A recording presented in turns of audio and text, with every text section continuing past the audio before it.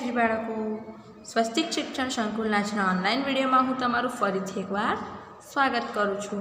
તો ચલો બાળકો, આજે આપણે કયો વિષય ભણીશું? ગુજરાતી. તો બધા જણ ગુજરાતીની નોટ લઈને બેસી જાઓ. આજે આપણે ગુજરાતીની અંદર આગળની બારાક્ષરી જોઈશું. તો જો આગળ શું આવશે? રસવઉ. વાળી બારાક્ષરી વાંચો અને લખો. આપણે આગળ રસવઉ વાળી બારાક્ષરી વાંચીશું અને લખીશું. જો, આને શું કહેવાય? ઉ. તો આપણે કઈ રીતે બોલીને લખીશું? કને રસવઉ કુ. જો બાળકો નીચે નાનું અમથું, આવું રસવઉ કરવાનું છે તમારે. કને રસવઉ કુ. તો હું બોલી બોલીને લખું છું. તમારે પણ મારી સાથે બોલી બોલીને લખવાનું છે. કને રસવઉ કુ. ખને રસવઉ ખુ ઘને રસવઉ ગુ ઘને રસવઉ ઘુ ચને રસ્વ ચુ છને રસ્વ છું જને રસ્વ છું ચલો પછી નીચે જને રસ્વ છું ટને રસ્વ ટું ઠને રસ્વ ઠું ડને રસ્વ ડુ ઢને રસવઉ ઢુ અણાને રસવઉ અણુ, તને રસવઉ ટુ થને રસવઉ થું દને રસવઉ ડુ ધને રસવઉ ઢુ નને રસવઉ નું પને રસવઉ પુ ફને રસવઉ ફુ અને બને રસવઉ, બુ.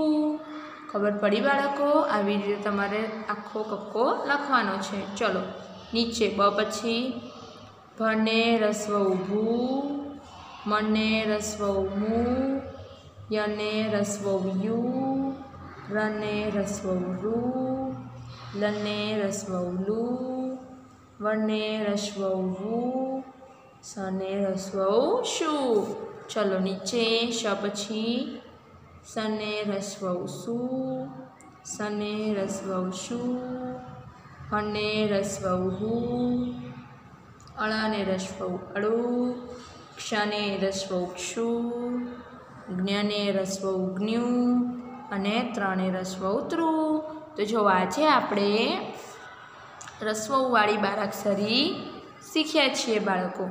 તો તમારે પણ આવી રીતે રસોવાળી બારાક્ષરી બોલી બોલીને લખવાની છે. એ પણ સારા અક્ષરે. તો તમારે આટલું હોમવર્ક નોટબુકની અંદર કરવાનું છે. ચલો બાળકો, હવે આપણે સ્વાધ્યાય પોથીની અંદર જોઈશું. ચલો બાળકો, બધા જણ ગુજરાતીની સ્વાધ્યાય પોથી લઈને બેસી જાય. એની અંદર આપણે આગળ ક્યાં આવ્યા હતા? તો જુઓ બાળકો. પાના નંબર પિસ્તાળીસ ઉપર યુનિટ નંબર એકસો ને ચોવીસ. તો જુઓ, અહીંયા પણ શું આપેલું છે? રસવઉવાળી બારાક્ષરી વાંચો અને લખો. તો મેં તમને જેમ નોટબુકની અંદર શીખવાડી છે લખતા, એવી જ રીતે તમારે અહીંયા રસવઉવાળી બારાક્ષરી સારા અક્ષરે લખવાની છે. જુઓ બાળકો. ઉપરથી જોઈ જોઈને તમારે નીચે આવી રીતે સારા અક્ષરે બારાક્ષરી સ્વાધ્યાય પોથીની અંદર લખવાની છે. લખશો ને બાળકો? તો સ્વાધ્યાય પોથીની અંદર તમારે યુનિટ નંબર એકસો ચોવીસ પૂરું કરવાનું છે.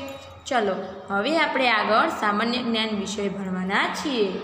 તો બધા જણ સામાન્ય જ્ઞાનની સ્વાધ્યાય પૂથી લઈને બેસી જાય. એની અંદર આપણે આગળ કયો પાઠ આવ્યા હતા? તો જો બાળકો, પાના નંબર ત્રીસ ઉપર પાઠ દસ, સજીવ અને નિર્જીવ. હવે તમને ખબર છે બાળકો સજીવ કોને કહેવાય અને નિર્જીવ કોને કહેવાય? તો જુઓ, હું તમને અહીંયા બતાવું છું. આ બધા સજીવ કહેવાય. હવે સજીવ કોને કહેવાય બાળકો? કે જેનામાં જીવ હોય, તેને સજીવ કહેવાય. જેમ કે સજીવો દોડી શકે, બોલી શકે, ખાઈ શકે, પી શકે. આ બધી જ ક્રિયાઓ સજીવો કરી શકે છે. અને નિર્જીવ કોને કહેવાય? તો જેનામાં જીવ નથી હોતો તેને નિર્જીવ કહેવાય. નિર્જીવ સજીવની જેમ જાતે કોઈ કામ કરી શકતું નથી. ચલો હું તમને બતાવું છું. આ બધા સજીવ કહેવાય, જેમ કે માણસો. માણસો શું કહેવાય બાળકો? સજીવ. કેમ? તે દોડી શકે છે, ચાલી શકે છે, બોલી શકે છે, ખાઈ શકે છે અને પી શકે છે. પછી પ્રાણીઓ. ગાય, ભેંસ, કૂતરા, બલાડા, આ બધા શું કહેવાય બાળકો? સજીવ. પછી વનસ્પતિઓ. છોડ, ઝાડ, વેલા, આ બધા શું કહેવાય? સજીવ. જુઓ, છોડનો વિકાસ થાય ને બાળકો? આપણે જેમ જેમ છોડને, વૃક્ષને, વેલાને પાણી પાવીએ, એમ એમ એ જાતે વિકાસ કરે છે ને? નાનું અમથું આપણે છોડ લાવીએ ઘરે તો કેટલું મોટું બની જાય છે? પછી જીવજંતુઓ, જેમ કે કીડી અળસિયું, માખી અને દેડકું જે ચાલી શકે છે, ખાઈ શકે છે અને પી શકે છે. એટલે કે જે લોકો ચાલી શકે છે સજીવ તેને કહેવાય છે. જુઓ આટલા હતા સજીવ. હવે આપણે નિર્જીવ વિશે જોઈશું. તો આ બધા નિર્જીવ કહેવાય. જેમ કે ઘર. તો ઘર ચાલી શકે નહીં. ચોપડી, ખુરશી, આગાડી, વિમાન, નદી ફોન અને સ્કૂટર. તો અહીંયા જેટલા પણ, જેટલી પણ અહીંયા વસ્તુ આપેલી છે, બધી નિર્જીવ વસ્તુઓ છે, તે જાતે ચાલી શકે નહીં. પોતાનું કામ જાતે લોકો કરી શકતા નથી. તો જે વસ્તુ ચાલી શકે છે, દોડી શકે છે, તેને સજીવ કહેવાય. અને જે વસ્તુ ચાલી ના શકે, તો તેવી વસ્તુને નિર્જીવ વસ્તુ કહેવાય છે. તો ખબર પડી બાળકો? જો આજે આપણે સજીવ અને નિર્જીવ વિશે શીખ્યા. સજીવ કોને કહેવાય? તો જેમનામાં જીવ હોય, તેમને સજીવ કહેવાય. અને નિર્જીવ કોને કહેવાય? કે જેની અંદર જીવ હોતો નથી, તેને નિર્જીવ વસ્તુ કહેવાય. ખબર પડી બાળકો તમને? તો ચલો, આની સમજણ તમારે જાતે લેવાની છે. ચલો, હવે આપણે પછીના વિડીયોમાં મળીશું. જય ગાયત્રી બાળકો.